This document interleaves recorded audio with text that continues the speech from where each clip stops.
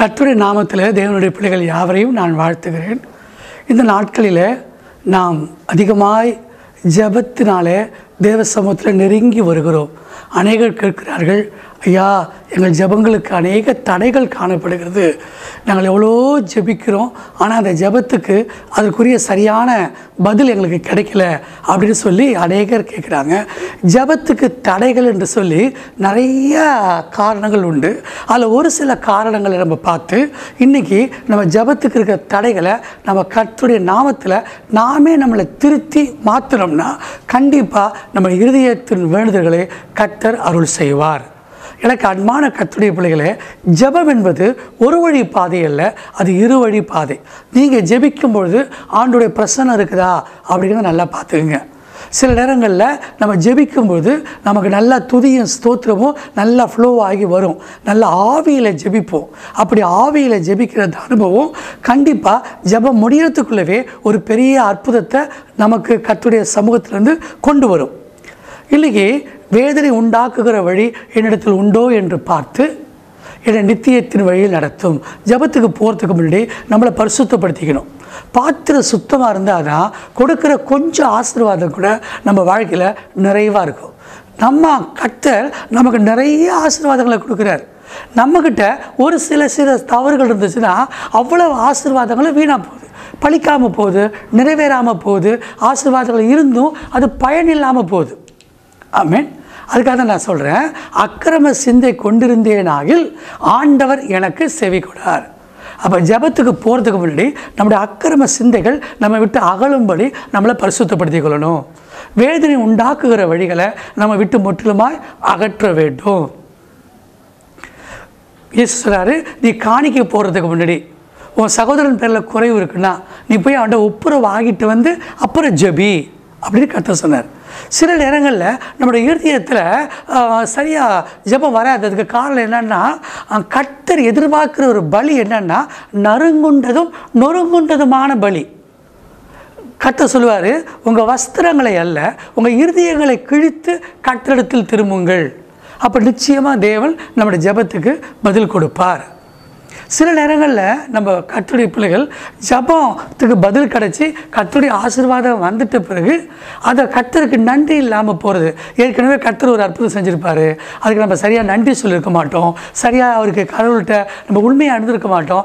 அதனாலேயே அடுத்தடுத்த அற்புதங்கள் நடக்கிறது தடைப்பட்டு போயிடும் அதனால் தேவ சமூகத்தில் நம்ம மனம் திருந்தி மனம் திரும்பி மனம் கசந்து இது மூணு மூணு வித்தியாசமான வார்த்தை. முதல்ல நம்ம மனசை திருப்பணும். நம்ம செஞ்சது தப்பு அப்படின்னு தேவ சமூகத்தில் ஒத்துக்கிட்டோம்னா கண்டிப்பாக நம்ம ஜெபத்துக்கு பதில் உண்டு. நான் ஒன்று சொல்லட்டுமா? பாஸ்டரா நான் சொல்கிறேன் நீங்கள் கத்துட்டு மட்டும் போய் உண்மையாக நொறுங்கி அழுது கதறி ஜெபிச்சிங்கன்னா நீங்கள் அழுதுட்டீங்கன்னா உடஞ்சி அழுதுட்டீங்கன்னா அடுத்த நிமிஷம் நீங்கள் எதிர்பார்க்காத அற்புதங்களை தேவன் செய்வார். ஆமேன் உங்கள் மனம் கலங்கவே வேண்டாம். இன்றைக்கி நான் சொல்கிறேன் உங்கள் ஜெபத்துக்கு கண்டிப்பாக பதில் கிடைக்கும். உங்கள் விண்ணப்பங்கள் சத்தத்தை தேவன் நிச்சயமாக கேட்பார். நான் ஜெபத்தில் நிறைய இருக்குது. நல்ல ஆண்டோட சமூகத்தில் அப்படியே முழுமையாக அர்ப்பணித்து எங்கெங்கெல்லாம் தடைகள் இருக்குது? ஏன் இன்னும் என்னென்ன தடைகள் இருக்குது அப்படின்னு நம்மளை பார்க்கணும்.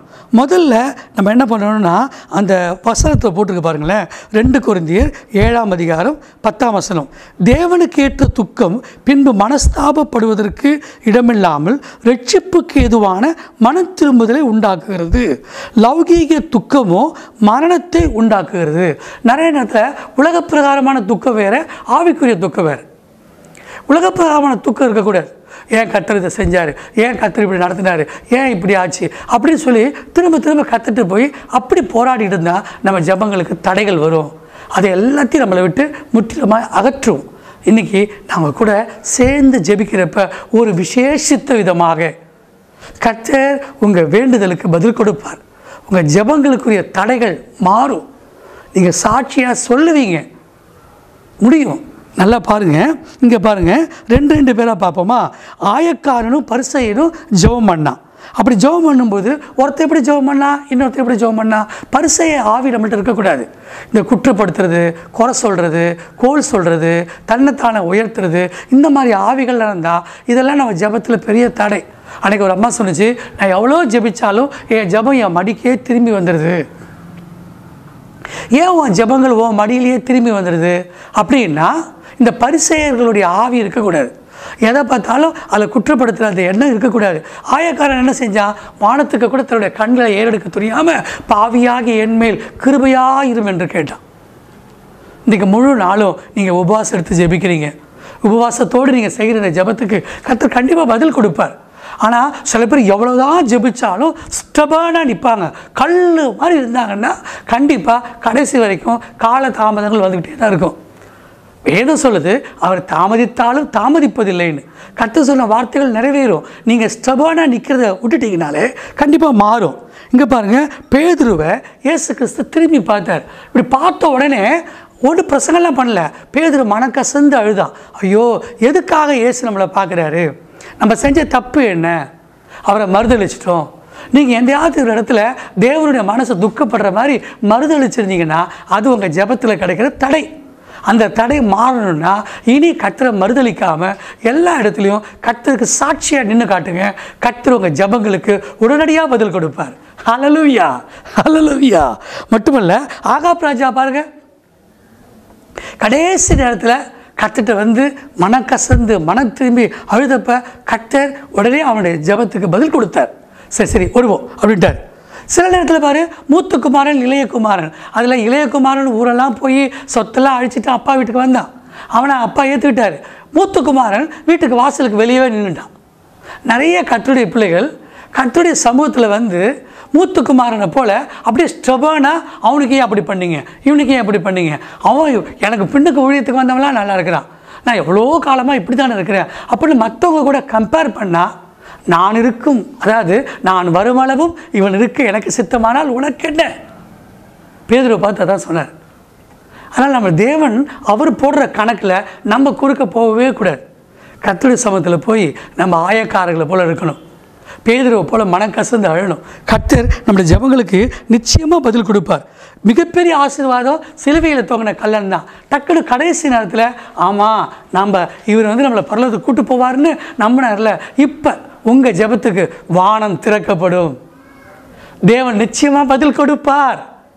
நீங்கள் சிலுவையில் தொங்கிக்கிட்டு இருக்கலாம். ஐயா நான் சிலுவையில் தொங்கிக்கிட்டு இருக்கிறையா என்னை விடுதலையாக்க யாரும் ஆளே இல்லைன்னு சொல்லலாம். ஆனால் கத்தர் உங்களை கண்டிப்பாக இன்றைய தினம் நீ என்னோடு கூட பரதேசில் இருப்பார் என்று சொல்லி கத்தரோட விடுதலையாக்குவார். உன் ஜெபத்துக்கு பதில் உண்டு. உங்கள் ஜெபத்துக்கு பதில் உண்டு. நிச்சயமாக உண்டு. வயசில் சொல்லுது. அதாவது சிறுமைப்பட்டு ஆனாலும் சிறுமைப்பட்டு ஆவியில் நொறுங்கிண்டு என் வசனத்துக்கு நடுங்குகிறவனையே நான் நோக்கி பார்ப்பேன். நிறைய பேருக்கு எப்படி தெரியுமா? போன உடனே கொடுத்துடணும். ஃபாஸ்ட் ஃபுட்டாக இது. இருப்பா வந்தல்ல. கொஞ்ச நேரம் கட்டுடைய வார்த்தையை கேள. வசனம் கொடுக்க வச்சா நல்லா தூங்கிடுவாங்க.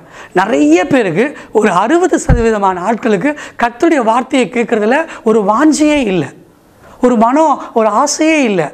கர்த்தருடைய வார்த்தையை கேட்காதபடி நீ ஜெபம் பண்ணால் அந்த ஜெபத்துக்கு கர்த்தர் பதில் கொடுக்க மாட்டார். அதுவே ஒரு தடை.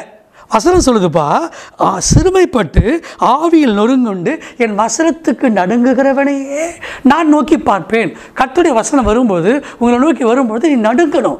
அந்த வார்த்தைக்கு நீ நடுங்கி ஏற்றுக்கொள்கிறப்ப கண்டிப்பாக இன்றைக்கி நீ யாரை பார்த்து பயந்து நடுங்கிக்கிட்டு இருந்தியோ அவர் உன்னை பார்த்து பயப்படுற மாதிரி ஆகிடுவார் உன் பயம் உன்னை விட்டு விலகும். உன் நடுக்க உன்னை விட்டு நிலகும். கர்த்தர் உன்னை நிறைவாக ஆசிர்வதிப்பார். ஏன்னா கர்த்தர் எதிர்பார்க்குறதுல என்ன தெரியுமா? நறுங்குண்டதும் நொறுங்குண்டதுமான பலிகளை தான் அவர் எதிர்பார்க்கிறார். அவர் உங்கள் அக்கிரமம் நீங்கி உங்கள் பாவம் நீங்கி உங்களை கழுவி சுத்திகரிப்பார். ஆகவே நீங்கள் என்ன செய்யணும்? இரக்கமும் மன உருக்கமும் நீடிய சாந்தமும் கிருபை உள்ள தீங்குக்கு மனஸ்தாபப்படுறவர் ஏதாவது சில நேரங்களில் உனக்கு சில கஷ்டங்கள் வந்திருக்கும். கத்தரை விட்டுருப்பாருன்னு நினைக்கிறியா? இல்லை. ஐயோ என் பிள்ளைக்கு இவ்வளோ கஷ்டம் வந்துருச்சு. அப்படி சொல்லி கத்த கண்டிப்பாக நீ பட்ட கஷ்டத்துக்கு ரெண்டு மடங்கு இல்லை ஐந்து மடங்கு முப்பது மடங்கு அறுபது மடங்கு நூறு மடங்கு கத்தரவனை ஆசிர்வதிப்பார். ஆனால் நீங்கள் என்ன பண்ணணும் தெரியுமா? உங்கள் இருதயத்தை கிழித்து கத்தட்ட திரும்பணும். உங்கள் எவ்வளோ பெரிய தடைகளாக இருந்தாலும் கத்தர் கண்டிப்பாக அதை உனக்கு ஜெபத்துக்கு பதில் கொடுப்பார். உங்கள் ஆத்மா தோய்ந்து போகலாம். ஆனால் நீங்கள் சோர்ந்து போகாதீங்க. மனம் திரும்பி கர்த்தருடைய சமத்தில் இல்லைங்க நீங்கள் கற்றுட்டு சொல்லுங்கள் நிறைய பேர் கற்றுட்டு போகிறப்ப அப்படி வரப்பா நிற்பாங்க இல்லை இல்லை இல்லை. ஆபிரகாமுக்கு தேவன் கல்லுகளில் கூட பிள்ளைகளை உண்டாக்கிடுவார். ஸோ கத்தர் எப்போவும் உங்கள் வாழ்க்கையில் கிரியை செய்ய ஆயத்தமாக இருப்பார். நீங்கள் நறுங்குண்ட பலிகளோடு நொறுங்குண்ட பலிகளோடு நீங்கள் தேவ சமூகத்தில் வருவீங்கன்னா கண்டிப்பாக உங்களுக்கு கர்த்தர் கண்டிப்பாக பதில் கொடுப்பார். உங்கள் ஜெபங்களுக்கு இருக்க தடைகள் நீங்கும். நீங்கள் இருக்கிற இடத்துல தேவ பிரசனத்தை உணர்வீங்க. கர்த்தர் உங்கள் வலதுகையை பிடித்து உங்களுக்கு துணை செய்வார். உங்களை ஆசீர்வதிப்பார். என் மனம் கரைந்து உங்களுக்காக சேர்ந்து ஜெபிக்க போகிறேன் ஜெபிக்கலாமா? வானாதி வானங்களும் கொள்ளாது மகிமையின் சிங்காசனத்தில் விட்டிருக்கிற எங்கள் அன்பின் பரிசுத்தமுள்ள பிதாவே உம்முடைய பிள்ளைகள் தங்கள் வஸ்திரங்களை அல்ல இருதயங்களை கிழித்து உம்மிடத்தில் மனம் திரும்பி இருக்கிறார்கள் ஐயா. இனி நாங்கள் ஒரு நாளும் உம்மை விட்டு தூரம் போக மாட்டோம் ஐயா. இனி எங்களுடைய ஆவிக்கிற வாழ்க்கையில் நல்ல ஒரு வளர்ச்சி இருக்கும் ஐயா. உம்முடைய பிள்ளைகளுடைய முழங்கால்களை நீர் பலப்படுத்துவதற்காக நன்றி. ஒரு ஜெப ஆவி நிரம்பட்டும் ஒரு விண்ணப்பத்தின் ஆவி நிரம்பட்டும் ஒரு துதியின் ஆவி நிரம்பட்டும் ஒரு ஸ்தோத்திரத்தின் ஆவி நிரம்பட்டும். பிள்ளைகள் மேல் இறங்கி வந்ததற்காய் ஸ்தோத்திரம். விண்ணப்பத்திற்கு நீ செவி கொடுத்ததற்காய் நன்றி. இயேசுவின் நாமத்தில் அற்புதங்களையும் அதிசயங்களையும் எடுத்துக்கொள்கிறோம் நல்ல பிதாவே ஆமேன் ஆமேன். கட்டத்தோட திருமுகத்தை உங்கள் மேல் பிரகாசிக்க பண்ணி என்னாலும் அவர் கிருபையாக இருப்பாராக. கர்த்தர் திருமுகத்தை உங்கள் மேல் பிரகாசிக்க பண்ணி சமாதானத்தை கட்டிடுவாராக. கட்டத்தோட திருமுகத்தை உங்கள் மேல் பிரகாசிக்க பண்ணி அனுக்கிரகத்தையும் எல்லையற்ற ஆசீர்வாதங்களையும் நிறைவாய் பொழிந்தள்ளுவாராக. ஹாலலூயா தொடர்ந்து உங்களுக்காக நான் ஆவியில் ஜெபிச்சிட்ருப்பேன் நீங்கள் எப்போவுமே சப்ஸ்கிரைப் பண்ணால் மட்டும் பத்தாது. தேவ செய்திகளை மற்றவர்களோடு ஷேர் பண்ணிக்கலுங்க உங்கள் தடைகளை நீங்கும் உங்கள் மூலமாக கற்ற மற்றவர்கள் வாழ்க்கையிலும் அற்புதங்களை செய்வார். நீங்கள் ஆசீர்வாதமாக இருப்பீர்கள். கெட்டுப்போக இருந்தவனுடைய ஆசீர்வாதம் உங்கள் மேலே வரும். ஆமேன். ஆசீர்வதிக்கிறேன். கிறிஸ்துவுக்குள் பிரியமானவர்களே தொடர்ந்து கர்த்தர் உங்கள் வாழ்வில் செய்த கிரியைகளை நீங்கள் பெற்றுக்கொண்ட அற்புதங்களையும் எங்களுக்கு தெரியப்படுத்துங்கள். நாம் கிறிஸ்துவின் அன்பில் இணைந்திருக்க சப்ஸ்கிரைப் செய்ய மறக்கவே வேண்டாம். இந்த தேவ செய்திகளை மற்றவர்களோடும் பகிர்ந்து கொள்ளுங்கள். நீங்கள் செய்யும் ஊழியமாக அது இருக்கும். மற்றவர்களையும் ஆசீர்வாதத்துக்குள் நடத்த முடியும். அவசர ஜப உதவிகளுக்கும் அன்றாட ஐக்கியத்திற்கும் வாட்ஸ்அப் என்னும் இமெயிலையும் நீங்கள் மறவாமல் எழுதி கொள்ளுங்கள். தொடர்பில் இருங்கள். இந்த உலகம் தருகிற சமாதானம் மட்டுமல்ல என் சமாதானத்தையே தருகிறேன் என்ற இயேசு கிறிஸ்துவின் சமாதானம் உங்களை நிறைவாய் தாங்குவதாக. ஷாலோம்.